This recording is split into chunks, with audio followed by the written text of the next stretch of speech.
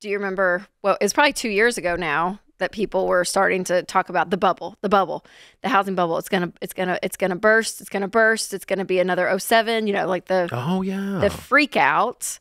And then That we did the big happen. the the reality the right real estate right reality real- check, calm everyone big, down. The big live stream. And so, you know, the market we've said it's soft. I mean, it, it's cooled down. It's not as insane as it was Thank then. God. Uh, yep. So we're, we're stabilizing. And so uh, on Instagram, I know you love Instagram reels.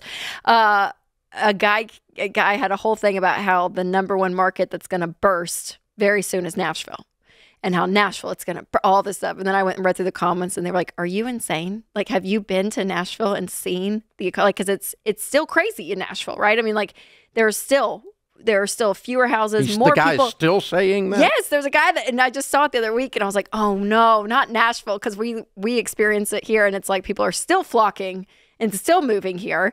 Uh, but what? But We oh, can't get you to not come. I know.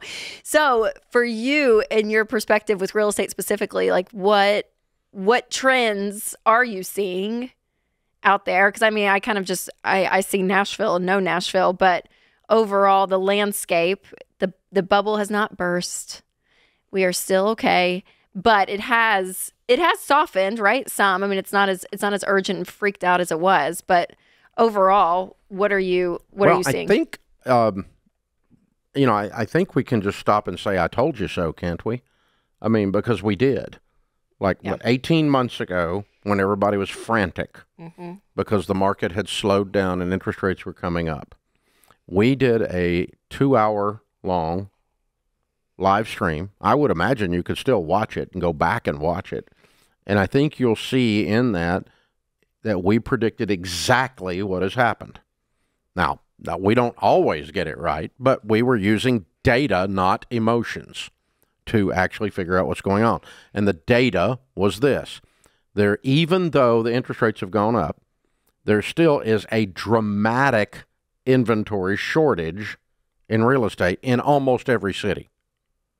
In order for prices of anything to come down, supply demand curves have to shift, meaning that the supply has to be much higher than the demand.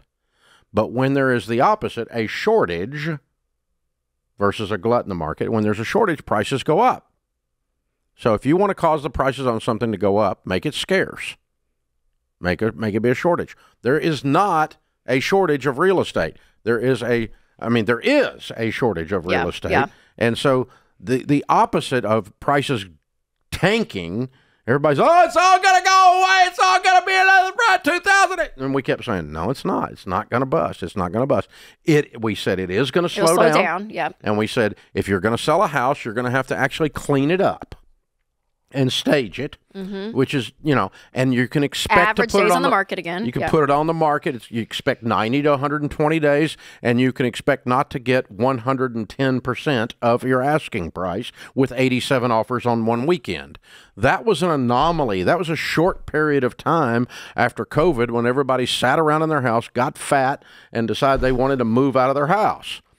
And, and so no one was building anything because no materials are so there expensive. was no there was Yeah. a shortage of lumber. Lumber went up three x. It's back down, uh, and builders are builders are not building specs right now. yeah. They slowed down, and they're adding to this shortage because the, the it's slowed down, and they don't they don't get stuck with a spec house, and so spec house starts are way off, which is hurting the inventory even more. You can't find a house in a lot of markets, so you have not seen prices crash. You've seen them steadily increase. We said in the year 2023 you were going to see a 2 to a 7% increase in prices nationwide, and that is about what we're going to see. And that's the, what your home is actually valued, not the inflated price that people are throwing Right. out there. Yeah. Right? Because Not- people not- could put an extra half a million dollars, something insane on, you know, and people would just buy it. this is not asking price. This is actual value. That's right. That's right. actual value. And it's not people buying like they've lost their dadgum minds. This is people, reasonable people buying properties at reasonable prices. You're going to see that number.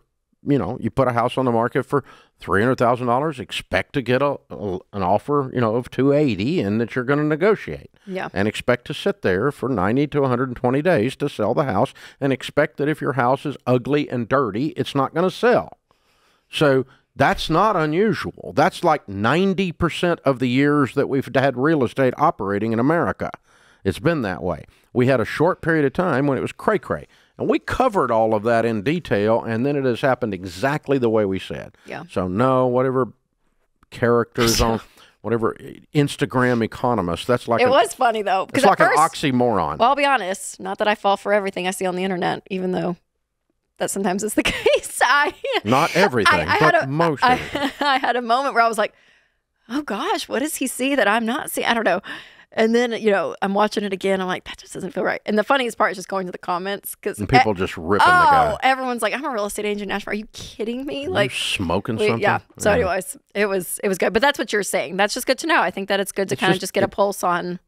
Um, and then interest rates obviously are they're up. They're up. And do you ever see them coming back down to that two three percent? I don't know. I, I don't know what interest rates are going to do. I will tell you this: you can have a healthy, sustained real residential real estate market for home buyers, and six percent will just rock it for days. I mean, we've rocked it for decades at six percent. The only reason it was driven down below six Yeah. was artificially by the government driving it down to re-stimulate the real estate market after 2008. But prior to 2008, for uh, what 15 years, it sat around six. Yeah. You know, when I came on the air in uh, 1992 doing this show, the rates were like nine. And we were selling lots of people were selling houses everywhere. Nobody Yep. thought anything about it. Yeah. And then they came down to six, and we thought, oh, this is awesome. This is great. Because six is great when you're comparing it to nine. Six is not great when you're comparing it to two and a half. Yep. Yep. You know? And so it's, it's all your point of reference. The secret to happiness is low expectations, right? So, the- oh my gosh. But yeah, that, the, you're you're right. We should have stopped and said, "I told you so," because we no, did tell that's you not that. what I was asking. No, I, I you I- will I- take this we, moment. no, to we really that. should do that every so often because we get so much stupid hate mail by people on these uh, social media channels and everything else that we don't know what we're talking about, and we completely nailed that. Yeah. I mean, our team here and I, the Ramsey personalities, looked at the data and we said, this is what's going to happen, and we hammered it. We nailed it. And it certainly wasn't the crash of the real estate market that a lot of you were believing and predicting was going to occur 18 months ago. Just think back to 18 months ago. And that's about when we did that live stream. So go mm-hmm. look it up.